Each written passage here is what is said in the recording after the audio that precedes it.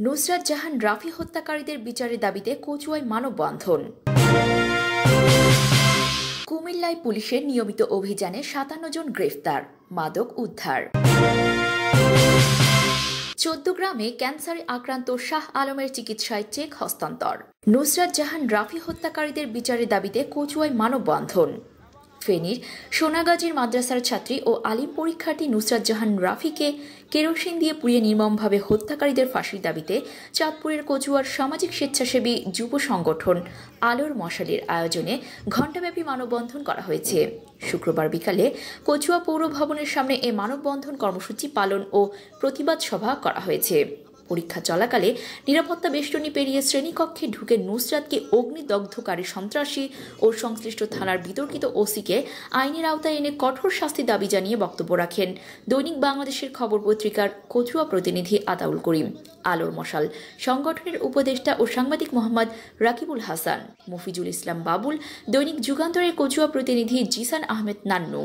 Kachua press ক্লাবের সাবেক সভাপতি আবুল হোসেন, মুক্তিযোদ্ধা আনোয়ার শিকদার, আলোর মশালের সভাপতি মোহাম্মদ ওমর ফারুক সাইম, সাধারণ সম্পাদক ফরহাদ হোসেন বকাউল, সাংগঠনিক সম্পাদক শাহাদত হোসেন সুমন সহ আরও অনেকে।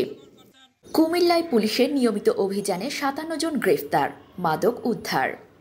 কুমিল্লা জেলায় নিয়মিত অভিযান পরিচালনা করে সাতান্ন জনকে গ্রেফতার ও মাদক উদ্ধার করেছে পুলিশ। গত চব্বিশ ঘন্টায় কুমিল্লা জেলায় নিয়মিত অভিযান পরিচালনা করে বিভিন্ন অপরাধে এই গ্রেফতার করা হয়েছে।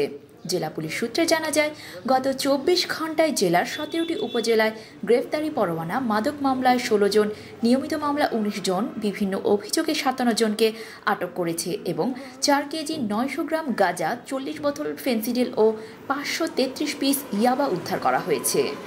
চোদ্দগ্রামে ক্যান্সারে আক্রান্ত শাহ আলমের চিকিৎসায় চেক হস্তান্তর। কুমিল্লার চোদ্দগ্রামে শুক্রবার সকালে মরণব্যাধি ক্যান্সারে আক্রান্ত কাজী শাহ আলমের চিকিৎসার জন্য প্রবাসী মামুন মনির ও ব্যবসায়ী মোশাররফের মাধ্যমে দ্বিতীয় দফায় সংগৃহীত এক লক্ষ বাষট্টি হাজার টাকার চেক শাহ আলমের পিতা কাজী মোহাম্মদ হাবিবুল্লার হাতে হস্তান্তর করেছে চৌদ্দগ্রাম বাজারের বিশিষ্ট ব্যবসায়ী জিনিয়াস কম্পিউটার এর স্বত্বাধিকারী মোহাম্মদ মোশাররফ হোসেন। চেক হস্তান্তর অনুষ্ঠানে অতিথি হিসেবে উপস্থিত ছিলেন বাতিসা ইউনিয়ন নিকাহ রেজিস্ট্রার কাজী মোহাম্মদ মহিন উদ্দিন সাপ্তাহিক চৌদ্দগ্রাম এর সম্পাদক সাংবাদিক মোহাম্মদ সিরাজুল ইসলাম ফরায়েজি সাংবাদিক এমদাদ সহ স্থানীয় গণ্যমান্য ব্যক্তিবর্গ। উল্লেখ্য, গত আটই মার্চ প্রবাসী মনির ও ব্যবসায়ী মোশারফের মাধ্যমে সংগৃহীত দুই লক্ষ বিশ হাজার টাকার চেক হস্তান্তর করেছিলেন চৌদ্দগ্রাম বাজার বিশিষ্ট ব্যবসায়ী মোহাম্মদ মোশারফ হোসেন।